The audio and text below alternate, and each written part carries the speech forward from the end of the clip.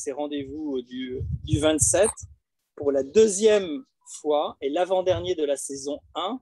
Ce séminaire informel et hors les murs, hors discipline, s'intègre dans un autre projet dans lequel je milite au Pays Basque, le Landacamp, dans un site magnifique, le domaine des cimes, chez Clément Auvette, dans lequel va ce week-end se passer différentes actions en rapport avec ce territoire, mais pas ce territoire, ça fait trop cliché, avec ce site magnifique dont je vous montrerai quelques images. Dans les personnes qui ont accepté de venir, et je trouvais ça fantastique de pouvoir lui donner la parole à distance, à, travers ce séminaire maths, mouvement art technologie, pour en dépasser des croyances sur la technologie. Donc, on a la chance d'avoir avec nous Jean-Paul Thibault. Jean-Paul Thibault qui est méta-artiste. Et je vais dire quelques petits éléments concernant le parcours de Jean-Paul, c'est-à-dire pas grand-chose parce qu'il se présentera lui-même, mais surtout, quel est l'intérêt au-delà du fait d'être présent au Pays Basque et de pouvoir vous parler autour de ce 27, de ce séminaire mensuel C'est qu'on va ouvrir avec Marie, dès l'année prochaine, un autre format. Parce que ce que l'on vit depuis quelques mois, à travers les écrans, bah, c'est pas ça. Exactement comme l'histoire de l'art au XXe siècle, au moins depuis l'abstraction, on va pas remonter avant. Bah, c'est pas tout à fait ça, l'utilisation des artistes et de la technologie. Le grand exemple, c'est bien évidemment John Cage, qui à la fois utilisé la technologie et qui était un grand passionné de champignons. Je dis John Cage, mais en fait, c'est parce que la semaine prochaine, il inaugurait de l'autre côté de l'Atlantique, donc un petit peu plus loin que l'océan, là où on est tout proche, une exposition John Cage avec le Zen au Black Mountain College. Et l'année dernière, sur ce site au Pays-Bas, j'ai fait une intervention pour parler du Black Mountain College, de Monte Veritas, de tous ces courants qui ont alimenté le XXe siècle et qui participent d'un imaginaire qui est transmis dans les écoles des beaux-arts. Et une des particularités de Jean-Paul Thibault, c'était qu'il l'a transmis, il a été longtemps enseignant dans des écoles d'art et il continue à travers ses workshops à transmettre. Il transmet autre chose en tant que méta-artiste. Ici au Pays Basque, il va faire un atelier de méta-ikebana. Donc ça permet effectivement tout de suite de poser les choses différemment de ce qu'on a l'habitude dans des cas, dans des étiquettes, le land d'art, l'art construit. Et puis, on a un autre attachement qui est lié avec une grande figure de l'art au XXe siècle, mais qui n'est pas une figure de l'art au XXe siècle, c'est une figure qui nous habite, qui est celle de Robert Filiou, que Jean-Paul a, côtoyé, et qui, lui, a réfléchi d'une autre manière, effectivement, de transmettre le monde dans lequel on vit, avec l'époque dans laquelle on est, sans contradiction avec la modernité, et puis sans contradiction avec d'autres traditions. Voilà, ça fait déjà beaucoup de petites choses à dire on, est effectivement en pleine nature. Et donc, il faut savoir qu'on est sur un équipement un peu léger. Et donc, on a équipé Jean-Paul d'un micro. Voilà. Moi, je, pour l'instant, euh, j'ai la priorité, la ferveur de pouvoir vous écouter à distance. Je vais vous demander de couper votre micro. Voilà, pour pas qu'il y ait d'interférence pour notre enregistrement à distance. Et puis, après l'intervention de quelques minutes, de cinq minutes, de dix minutes de Jean-Paul sur son parcours, parce qu'en fait, j'en ai rien dit, mais si j'en ai rien dit, c'est qu'en fait, on s'ouvre à l'espace. Notre question, c'est de quelle manière on s'ouvre à la vie, de quelle manière on s'ouvre à l'espace. Je vais lui laisser la parole le temps qu'il souhaitera faire une présentation. Moi, j'ai un tas de questions en réserve, mais il ne s'agit pas de moi. Moi, je vais avoir la chance de participer à un atelier avec lui demain, donc de diffuser de plein de choses. Il s'agit de ce qu'il va pouvoir, là, maintenant, nous dire, nous ouvrir, et à ce moment-là, je lui passerai le casque pour qu'il puisse directement échanger avec vous. Et moi, j'en profiterai pour vous montrer le paysage qui nous entoure et qui est, magnifique. Jean-Paul Thibault, déjà, merci beaucoup d'avoir accepté de venir euh, jusqu'à Jaxou, à Okera, pour participer à un atelier que vous allez faire demain. Et puis, merci aussi d'accepter de faire cet entretien totalement informel, totalement sans filet, mais sans pollution, véridique, au milieu de la nature au Pays Basque par rapport à ton parcours, parce qu'on va se tutoyer. Oui, tout à fait, on est dans un site euh, magnifique, très, très inspirant. Et euh, si je suis ici, c'est un peu dans la philosophie de mes, mes projets. Euh, c'est suite à l'invitation de Franck, j'ai pu, avec son aide, réunir trois amis donc, et les, impliquer dans une improvisation qu'on va faire demain à partir euh, de l'idée de Ikebana, Meta Ikebana. Alors, euh, c'est important pour moi cette idée de, rencontre et de pouvoir créer des rendez-vous. Alors là, j'en profite parce que je vois Patricia euh, Fernandez qui est, là, et puis je ne vois pas le nom d'une autre Anne Kerrien. Enchanté, Anne. Euh, Anne est une très bonne amie, mais je ne vais pas parler à ta place. C'est une très bonne amie et en plus, je pense que son nom lui parle, mais je ne sais pas si on ira jusqu'à Deleuze et Guattari. Non, mais je connais, euh, j'ai eu l'occasion de, de, lire euh, beaucoup de, de ses articles et interventions. donc, oui, cette idée de, de, de lien et de rencontre est, très importante et c'est ce qui me motive toujours pour me déplacer parce que quand Franck m'a dit est-ce que euh, tu aurais l'occasion de passer à, à, Bayonne, je lui ai dit ben non, j'ai pas l'occasion de passer à, Bayonne. Et puis en réfléchissant, je lui ai dit si qu'à une seule condition, c'est qu'on puisse réunir ces personnes pour qu'on puisse euh, poursuivre des échanges aussi et, partager des et partager des pratiques. Euh, donc c'est assez aléatoire à chaque fois les, choses que je propose. Et c'est pour ça que je définis un peu ma, euh, ma pratique comme étant euh, une pratique euh, à l'abri de rien. C'est-à-dire qu'il y a des événements qui peuvent surgir et il faut pouvoir les intégrer dedans. C'est la différence que faisait John Cage avec le happening, avec le happening de que ce soit ceux de Rauschenberg ou ceux de Capro, où les happenings étaient vraiment il y avait une partition. Et tout ce qui rentrait pas dans la partition venait perturber le déroulement du happening. Alors que chez John Cage, bah, ça fait partie. Hein. Il n'y a pas d'imprévu. Euh, c'est une écoute et c'est une sorte de, de consécution et de, de, de, coïncidence qui pouvait être tout à fait favorable à ce qui était en train de se passer. Et dans ce contexte-là aussi, euh, à travers euh, que ce soit les protocoles, les protocoles méta ou les métascolés, euh, il y a toujours une part, on, peut dire d'improvisation, mais l'improvisation laisse souvent penser que voilà, ça arrive et puis on laisse faire. C'est pas tant ça, c'est surtout qu'on est déjà préparé à ce que des choses arrivent. Et c'est pas un laisser faire, c'est juste au contraire une hospitalité qu'on fait. Voilà, c'est pas quelque chose qui vient par de vers nous, c'est quelque chose qu'on accueille avec la, plus grande hospitalité. Et donc, euh, euh, c'est important de, préciser ça. Et puis, je voudrais revenir sur le préfixe méta, parce que ça peut prêter aussi à confusion. Moi, je l'ai utilisé vraiment euh, dans un sens de déplacement, de transformation de pas de côté. Euh, et, donc, euh, à, partir, c'est une espèce d'agent désorientant, un préfixe qui peut désorienter des substantifs comme des adjectifs, comme des verbes.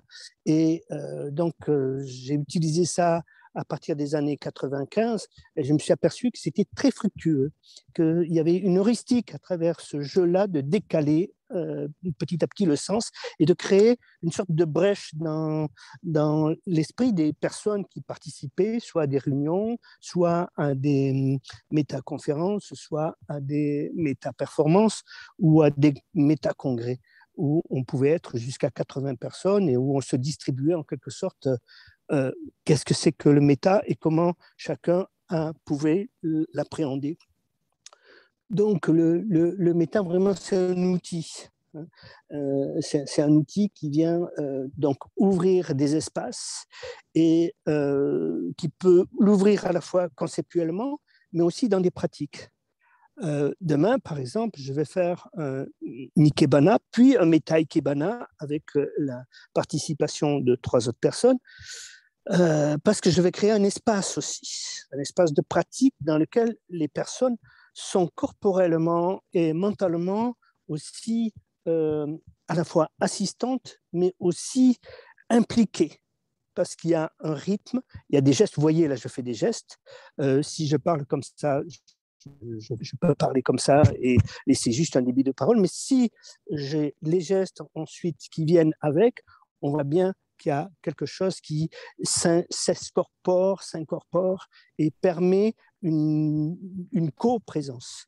L'idée, c'est vraiment qu'est-ce qu'on fait de nos présences quand on est quelque part, quand on est euh, mobilisé quelque part, invité quelque part? qu'est-ce qui fait qu'à un moment donné, on peut se retrouver là et découvrir quelque chose de, soi qu'on ne pensait pas à ce moment-là, et notamment par rapport à une situation?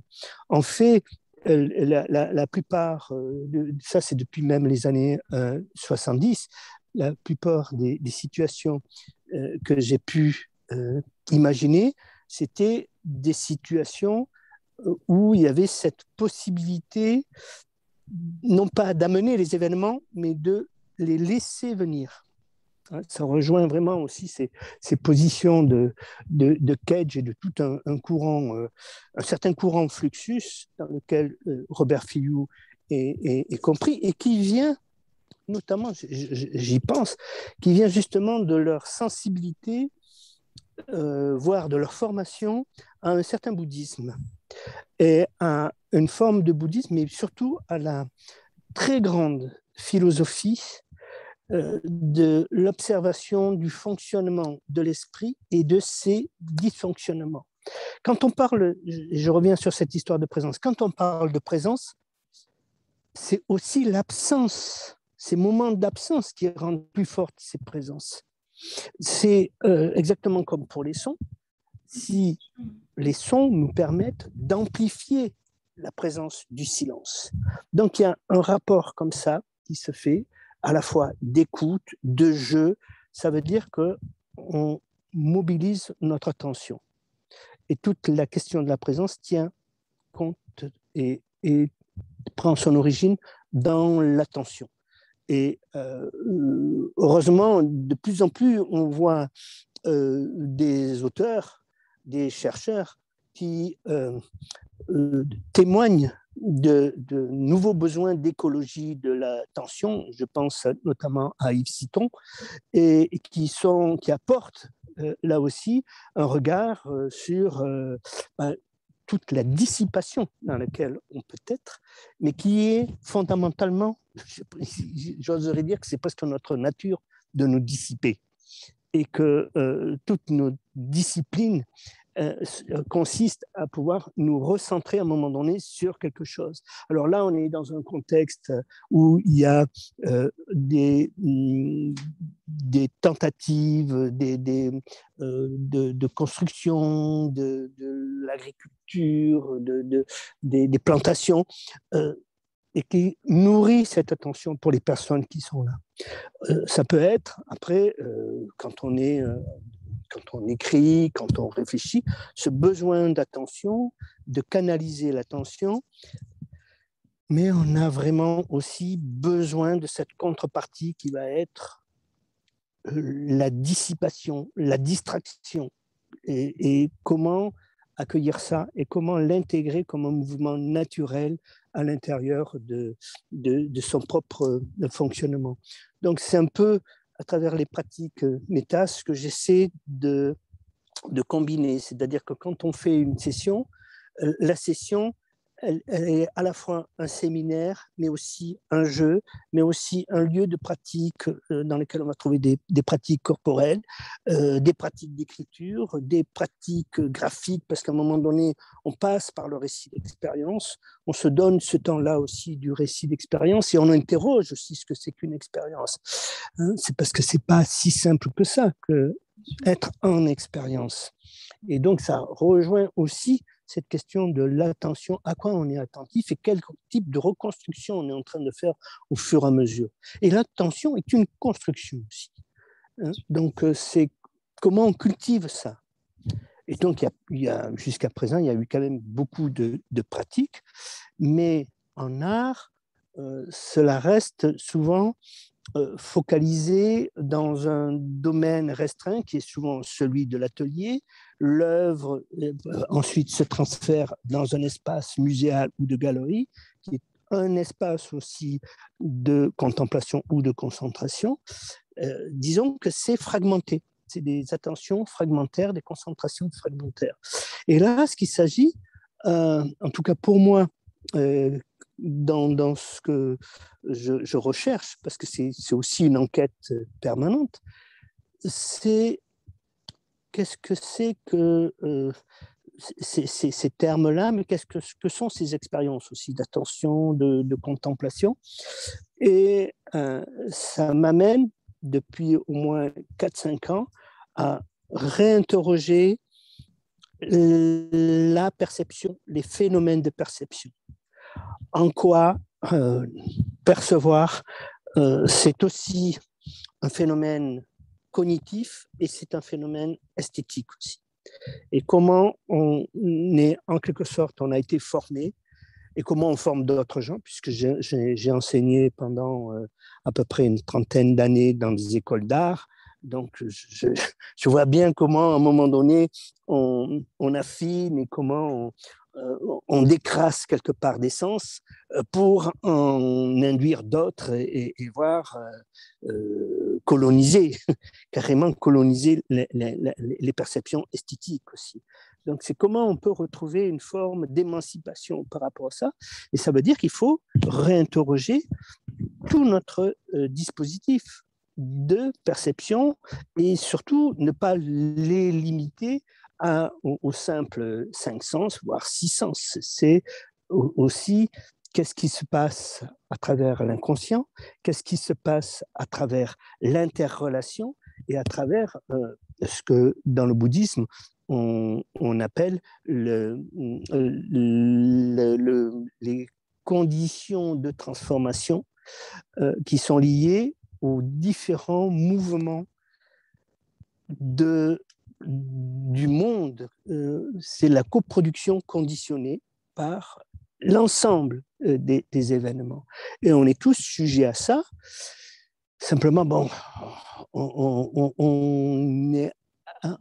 a en quelque sorte des sortes de thermostats, on a des systèmes de contrôle qui nous permettent de, euh, tenir un certain nombre d'équilibres et à des filtres qui nous permettent justement de pouvoir passer d'un cadre à un autre sans être totalement perturbé par ce cadre. Et là, euh, moi, je suis assez intéressé pour euh, poursuivre des expériences et, rencontrer des personnes qui sont dans ce type de questionnement aussi et qui établissent depuis de nombreuses années euh, différentes comparaisons, différentes euh, enquêtes aussi, et qui euh, essaient de diffuser ces, ah. enquêtes. Et là, je, pense à, des gens que, que, vous connaissez certainement, comme Francisco Varela. Bien sûr. Donc, qui a développé vraiment beaucoup de choses par rapport aux, neurosciences, mais aussi en lien avec le, le, bouddhisme, qui a fait des, des, des approches à la fois comparatives et puis euh, des synthétiques. Euh, je me de vous couper donc, un euh, de vous couper un petit peu. Je, je me situe un peu par rapport à des, des gens comme ça. Marie a une question et je te coupe parce qu'en en fait, Jean-Paul, vous m'entendez un petit peu, mais plus loin. En fait, Ce qui se passe, c'est qu'on n'a pas, on pas mis une régie on, a fait quelque chose de mobile, notre mobile. Ce qui paraît un peu bizarre, c'est qu'effectivement, dans l'époque dans laquelle on est, on peut effectivement faire de la visioconférence, on peut surtout inventer de nouvelles rencontres, c'est ce qu'on tente. moi, bien évidemment, Francesco Varela, Jean-Paul sait que c'est très intéressant.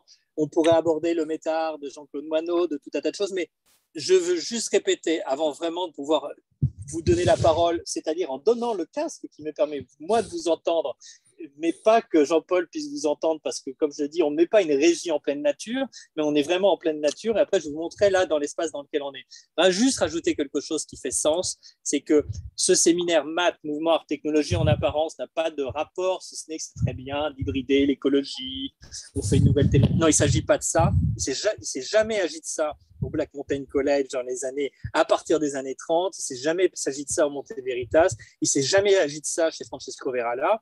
Il s'agit d'autre chose. Et cette autre chose, ben, on essaye de le faire euh, en fonction des occasions, des rencontres et des moments avec les outils qu'on a. Alors, l'outil qu'on a, c'est euh, le casque que je vais mettre sur les oreilles de Jean-Paul. Voilà. Comme ça, vous allez pouvoir poser vos questions. Et c'est vrai qu'on s'est dit qu'on allait limiter le temps. On ne fait pas un workshop, un atelier, on lance un message. Jean-Paul est facilement trouvable aussi pour les gens qui nous écouteront, regarderont a posteriori sur YouTube ou sur les réseaux sociaux. Et donc, on lance quelque chose. Nullement une bouteille à la mer. parce qu'on continue à naviguer depuis très longtemps. Et on navigue en fonction, effectivement, de la météo. Et pendant que je pose le casque sur les oreilles de Jean-Paul, moi, je sais que Marie, vous avez beaucoup travaillé différents textes de, Jean-Paul. Derrière mon idée, c'est que moi, j'aimerais bien créer une école d'art qui serait un peu équivalente à, ce qui est différentes expériences Jean-Paul. Alors, oui, alors justement, par rapport aux présentations, par rapport à, ce méta comme outil et par rapport à, l'école, j'avais plusieurs questions qui me sont venues en tête en vous écoutant. La première, c'est est-ce que vous vous retrouvez un petit peu dans une forme de, philosophe enquêteur, enfin dans la figure du philosophe enquêteur telle qu'elle a, pu être euh, décrite par Deleuze euh, pendant ses conférences? Et deuxième question, euh, vous parlez du coup du méta comme un outil, comme un échange d'expériences, de, de flux de tension, de passation. Enfin, c'est comme ça que je l'entends en tout cas Arrêtez-moi mmh. si je me trompe. Euh, et, dans ces conditions, est-ce que qu'est-ce que c'est pour vous que faire école aujourd'hui? Vous avez été enseignant, vous continuez à donner des workshops, faire des conférences, des interventions. Comment vous mettez en place cette pratique du méta concrètement euh, comme échange? Quels sont vos outils, vos techniques en fait de passation dans ce, dans ce contexte-là? Ce sont mes deux questions. Mmh. Oui. Alors, c'est pas tant faire école hein, qui est qui m'intéresse que euh, créer des situations euh, habitées par des individus euh, dans lesquelles sont partagées à la fois des méthodes, des expériences, des outils, et en même temps qu'il y a un travail d'élaboration qui se fait au fur et à mesure sur la manière dont on avance. Sur la question de l'enquête, c'est plutôt... je m'appuie plutôt sur John Dewey et euh, sur un, certain courant de, pragmatisme. Et, donc, euh, ce qui m'a beaucoup aidé justement pour euh, effectuer ce type de travail, c'est que dès, dès 2005, j'ai pu travailler avec deux personnes qui ont été des, des diffuseurs et des traducteurs de Dewey, à savoir Jean-Pierre Cometti et Joël Zask.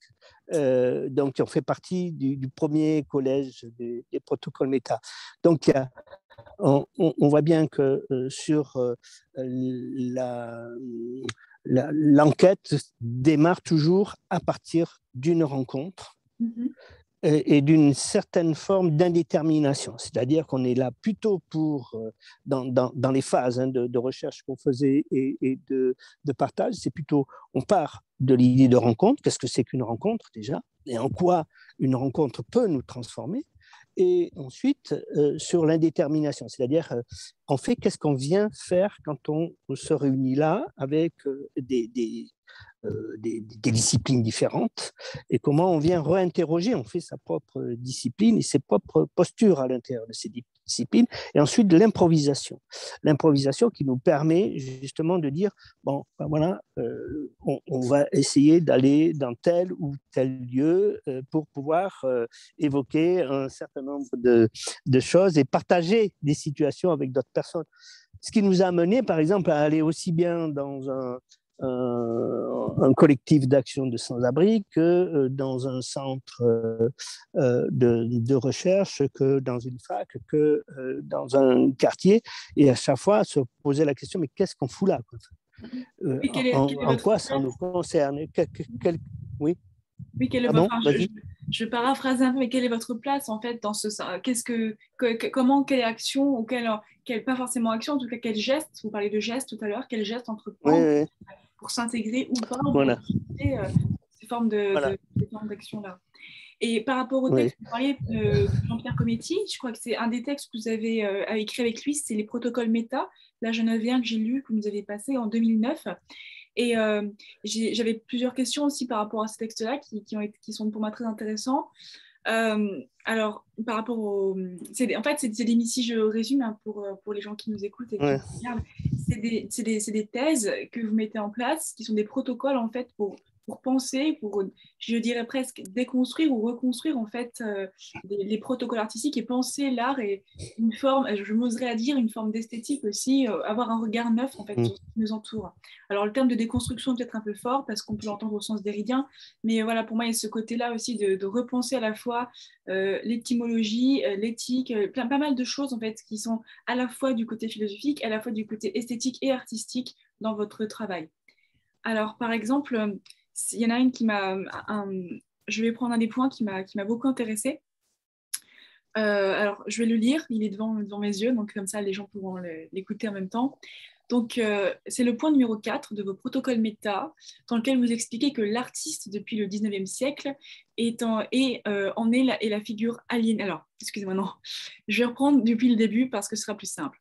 Donc, vous expliquez en 1 que le marché de l'art est l'objectivation du processus même de l'art autonome et de la dissociation qu'il opère entre la valeur attribuée à ces objets et les conditions matérielles et sociales de production.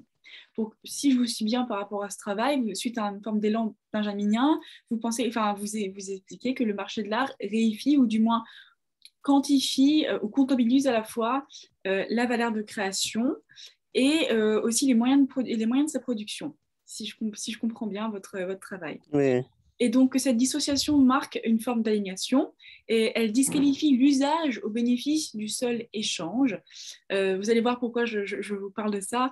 Euh, l'argent en est la forme et la fin. L'art partage avec l'argent la propriété de n'en avoir aucune, sinon les usages qui l'autorisent et les représentations dans lesquelles il s'épuise.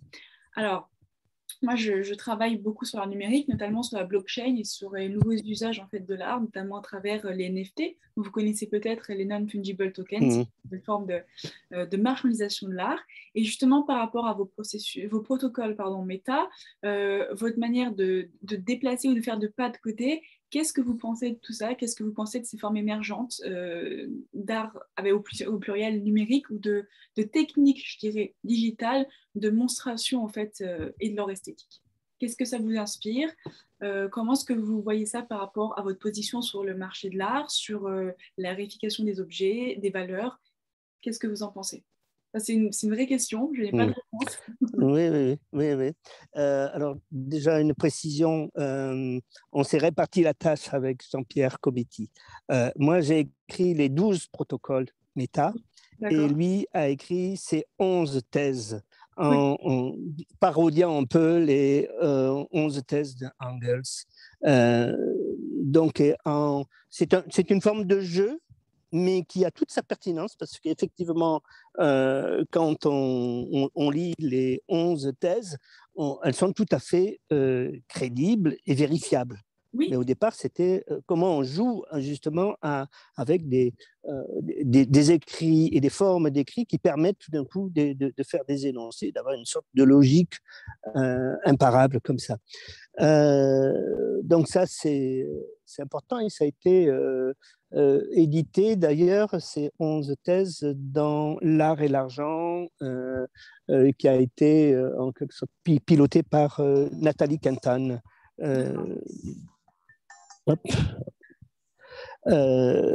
voilà. Alors après, par rapport aux, formes d'art,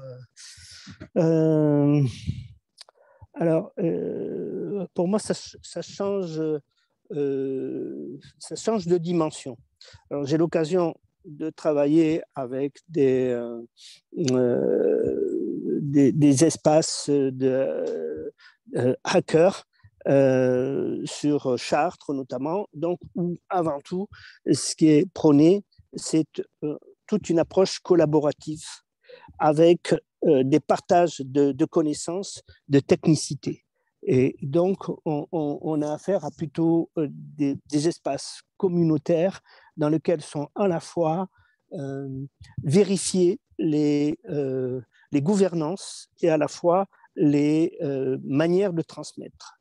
Mhm. Et la transmission se fait par une manière d'être côte à côte et de, de, de, partager des temps et de partager des outils. Et il n'y a pas d'enseignement dans le sens classique du terme. Euh, c'est vraiment par le frottement euh, des expériences que s'édifie petit à petit une culture technique et une culture, euh, on, peut dire aussi de, concepts qui sont utiles pour pouvoir réunir les gens et, faire fructifier des idées et, notamment bon, des, réformes, des, formes, des réformes. Donc, moi, je le vois assez positivement quand c'est partagé aussi dans des espaces concrets. Euh, après, j'ai aucune idée de ce que ça peut donner quand ce sont que des individus qui sont sans arrêt derrière des écrans.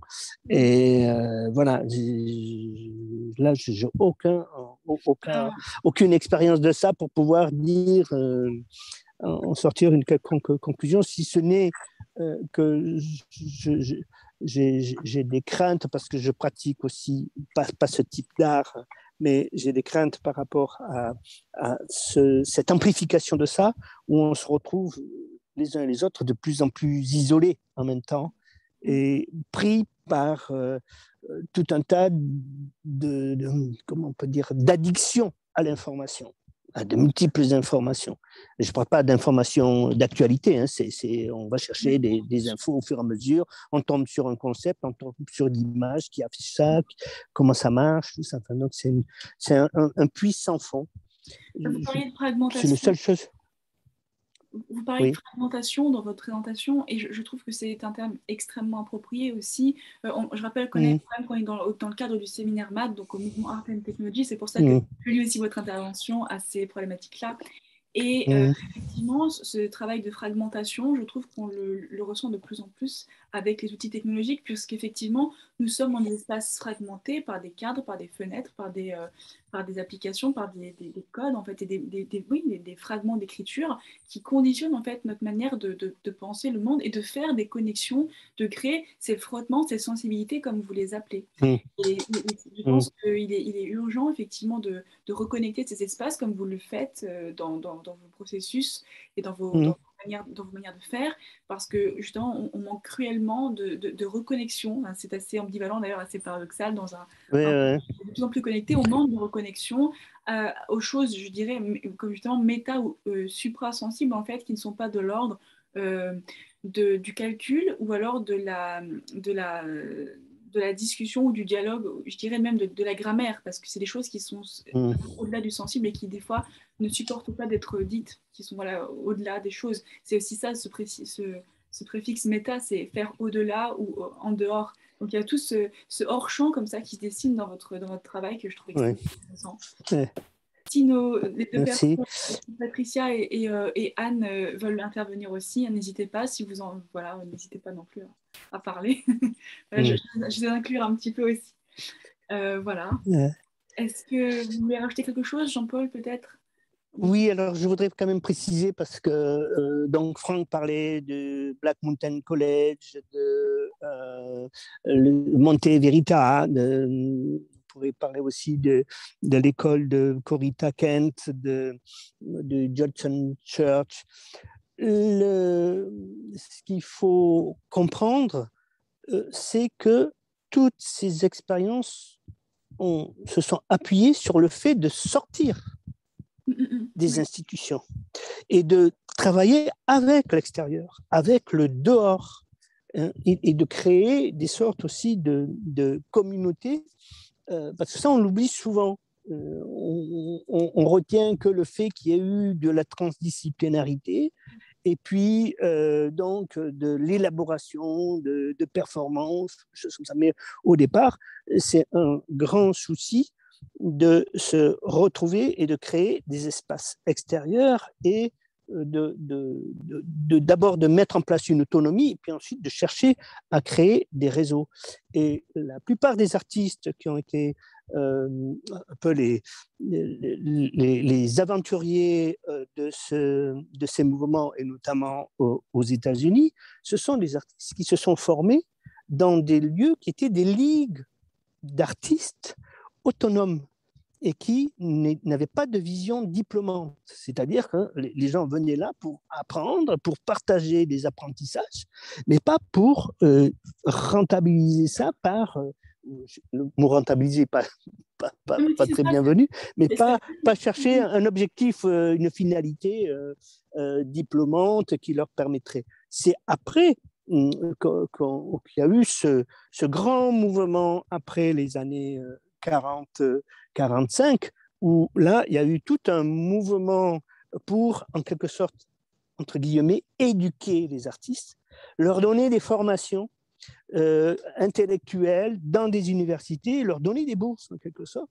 euh, qu'ils ont pu, euh, là aussi, détourner à un moment donné pour pouvoir faire des recherches parallèles ça. Et c'est comme ça que se sont retrouvés dans des instituts de, recherche des, gens comme Cage, John Cage, et, qui a pu former des, pas mal de gens du, groupe Fluxus. Une, une recherche de, dehors, quand même, dans, dehors de, du, fonctionnement. Oui, à la fois, il y a un ancrage dans l'institution, une sortie aussi, une extirpation comme ça, nécessaire, vitale, je dirais, parce que sinon, il y a, il y a cette forme aussi de dépoussiérage à faire qui est, qui, qui est vitale. Euh, je pense qu'aujourd'hui, c'est toujours le cas en, école d'art. J'ai moi-même fait deux écoles d'art. Et c'est vrai qu'il euh, il y a ce besoin, cet élan, même en université, d'insuffler de la nouveauté et euh, qui ne peut pas se résumer à des termes d'interdisciplinarité ou transdisciplinarité qui regroupent simplement des fois des échanges de communautés qui sont les mêmes. Donc, il n'y a pas de sortie, il y a mmh. un regroupement, il y a une, une fixation, alors que c'est beaucoup plus aventureux, beaucoup plus délicat et certainement plus fructueux d'aller euh, s'oser à l'extérieur. Ce qui demande beaucoup de, mmh. euh, de, courage, je dirais intellectuel, en quelque sorte, de d'oser en fait faire le pas. C'est pas forcément évident, euh, ni pour les institutions, ni pour tous les acteurs en fait qui font partie de, ces réseaux-là. Mmh. D'où aussi l'intérêt de faire, des, faire des, des, actions qui sont en dehors des cadres des cadres institutionnels et à la fois, à les fois qui sont aussi, qui sont aussi repris. Alors, je vois que, que Franck nous reprend la caméra. C'est bon Alors, il est, 9h, il est 9h, 19h12, 9h. 19h12. C'est là où on parle d'ouverture d'espace. Exactement. Et euh, on s'était dit aussi que. Mais on m'entend, Jean-Paul, tu peux garder le, casque si, Patricia ou Anne veulent poser une question. Allez-y. Euh, on s'était dit qu'on se garderait un, temps, un temps assez court. L'idée, c'est d'ouvrir un espace, une brèche, une faille. Vous voyez que ça manque pas d'espace ici, là où on est donc, il ne s'agit pas de déplier, de faire du hors les murs, de, faire des musées à la campagne. Enfin bon, tout ça, on, sait.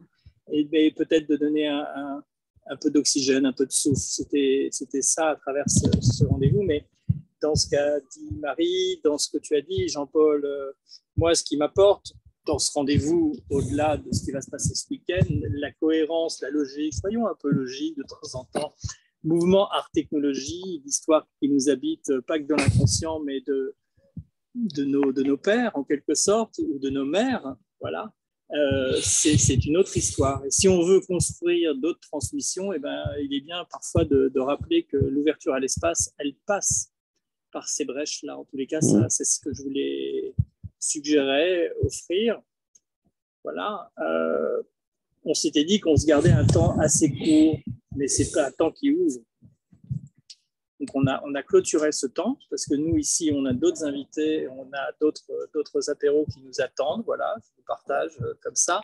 Mais Anne ou Patricia, Patricia vous connaissez Jean-Paul, donc euh, Anne si vous avez une question ou Jean-Paul en direct pour qu'après les gens c'est le bon moment. En tous les cas, Anne, moi Jean-Paul a eu une formule euh, qui va vous parler parce qu'on a en commun cet intérêt pour Jean Horry et Jean Houry, dans mon souvenir, en tout cas d'un point de vue euh, clinique, euh, rappelait régulièrement tout au long de son, non pas enseignement, mais de son quotidien, qu'il fallait savoir ce qu'on foutait là avant de pouvoir en dire quelque chose aux autres. Voilà, parce que si on ne sait pas ce qu'on fout là, comment on peut donner, je dirais, envie à d'autres personnes d'avoir envie d'être là. Et cette histoire d'être là, euh, surtout à l'heure d'aujourd'hui avec les technologies contemporaines qui sont totalement différentes que la mécanique et l'électronique, elles se posent et les artistes numériques, s'ils ne passent pas par là, ne pourront certainement pas faire grand-chose. Mais bon, ça c'est un autre sujet peut-être bien prétentieux de ma part.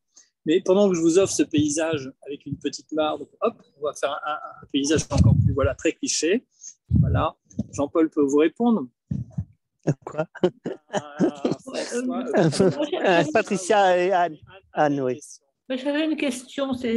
Jean-Paul a dit un moment, euh, nous intervenons euh, dans des groupes ou je sais pas quoi, et je me demandais ce que c'était que ce nous. Est-ce que c'était une personne ou un petit groupe qui est formé par ailleurs, qui vient de l'extérieur et qui est porteur donc d'une théorie repérée et qui, qui est invité à, à intervenir auprès des, vous avez parlé des SDF, il me semble, ou je ne sais plus qui. oui, oui, oui. Comment, comment c'est constitué en fait pratiquement? Oui, euh, c'est une sorte de, collège informel hein, d'individus qui sont dans des pratiques euh, différentes. Et euh, en fait, ce qui nous a réunis au, départ, c'est une unité géographique entre Aix et Marseille. Mmh. Et ensuite, à partir des projets, on a pu bah, réunir euh, des gens en fonction des, thématiques, par exemple sur euh, l'intervention avec les, euh, avec les SDF et la collaboration qu'on a pu faire avec eux, partir d'une question, qu'est-ce que c'est que l'expérience de pauvreté? Et, pas simplement celle des SDF, c'est aussi la, pauvreté des, individus dans, son ensemble. Et là, donc, on va chercher à inviter des, des personnes dont on sait qu'à un moment donné, elles ont traversé euh, des expériences ou bien qu'elles ont pu écrire à partir de ces expériences. Et là, je pense notamment à, Tony Negri, euh, qui, à, travers euh, son expérience de prison, a redécouvert Spinoza et la, la, force, à un moment donné, la puissance de, de la pauvreté. Donc, on lui a demandé de venir s'expliquer. Mm-hmm. Comment? Il a écrit un bouquin sur Job, sur le livre de oui, Job. Aussi, oui, ouais, oui, oui. Et donc, euh, voilà, et puis euh, d'autres personnes dont on savait qu'elles euh, avaient traversé des, des, expériences de ce type pour montrer que la, la, pauvreté peut avoir une puissance à un moment donné et qu'il faut la différencier de la misère, euh, mm-hmm. qui est, elle, euh, une acculation en, quelque sorte à, un destin, ou enfin, le destin est, malvenu là, mais à, des conditions sociétales qui font qu'un individu se retrouve le plus bas, au plus bas, au plus bas, et qu'il a beaucoup de difficultés pour euh, se ressaisir de sa propre existence. Alors, donc, c'est un collège assez, euh, assez variable en fonction des, des, objets euh, qu'on se donne à un moment donné. Euh, voilà. Mais ça regroupe aussi bien des, des, étudiants que des travailleurs sociaux, que des, des, artistes, des enseignants, et suivant les occasions. Voilà. Jean-Paul, il faut dire au revoir maintenant. Oui. Parce que vous avez un de vos invités qui vient d'arriver. Oui. Donc. Merci en tout cas, Patricia, Anne et Marie. Et puis, et j'espère qu'on aura l'occasion de, de, poursuivre euh, des échanges de, ce type. Voilà. C'était vraiment très riche. C'est dommage que c'est quand même un peu courte, mais bon, voilà. Merci beaucoup. Ah, Patricia. Merci. À poursuivre. Merci. Merci. Au revoir. Marie, Au revoir.